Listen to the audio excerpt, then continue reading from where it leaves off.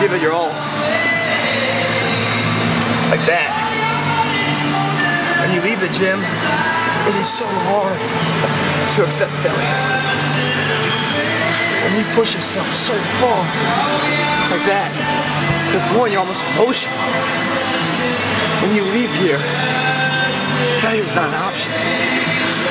You are too fucking hard for success.